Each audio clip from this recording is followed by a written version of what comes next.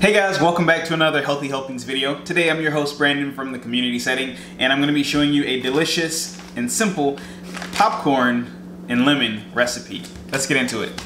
Alright, so we've got the popcorn popping in the back and while that's going, we're going to make the lemon drizzle that's going to go over the popcorn and it's very, very simple.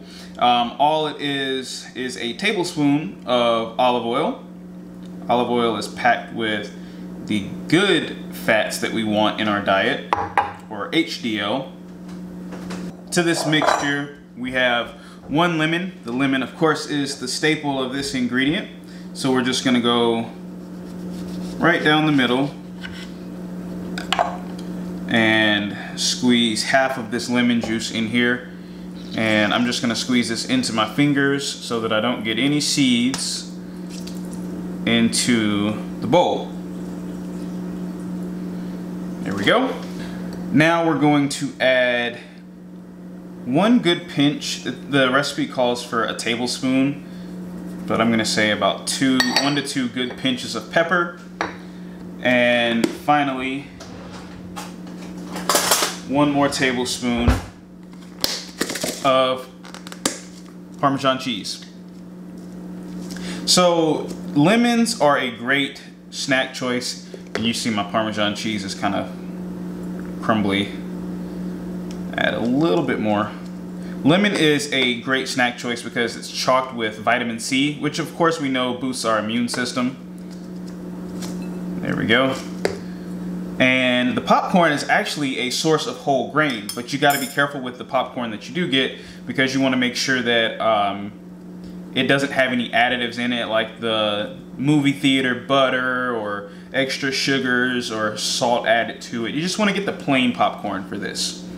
So our like lemon slurry is looking pretty good. Now we're just going to literally add our popcorn into this and mix the drizzle in with it and we're done. Mix this around with the lemon sauce that we made at the bottom and try not to make a mess while I'm in the process. Here we go. I can see like some of the pepper flakes on the popcorn, so I know I'm getting...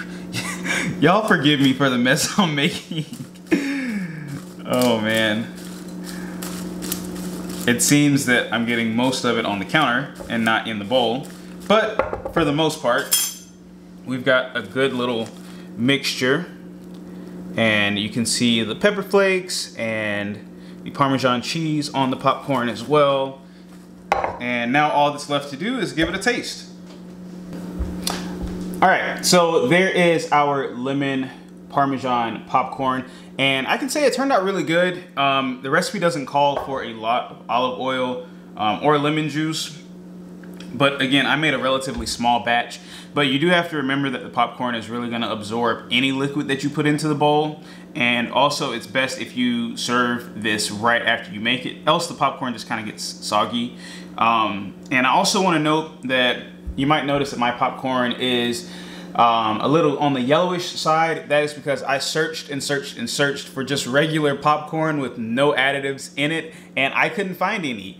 Um, but I did get the low fat um, light butter option. And that's just the reality of trying to buy healthy. Sometimes your store that's closest to you won't have the option that you're looking for, but it's important that you're able to make the best choices for what you have available. So this is um, low fat popcorn with light butter on it. But again, popcorn is a source of whole grain and the ones that don't have all the additives in it, like the extra butter, movie theater butter, cheddar, um, the sugars in it, all that kind of stuff, make it a better option for a snack for you. So, with all that being said, enough talking, let's taste. Mmm.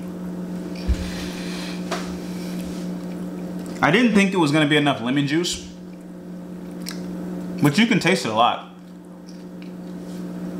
This would be a great like alternative for like an unhealthy popcorn option for like a movie night because oftentimes when I eat popcorn, I'll normally get like the kettle popcorn. Um, And I don't know, just regular popcorn just doesn't have a really good flavor, in my opinion. Um, and it always is missing something, which what is was, which is what kind of draws you to like the butter flavors or the cheddar flavors.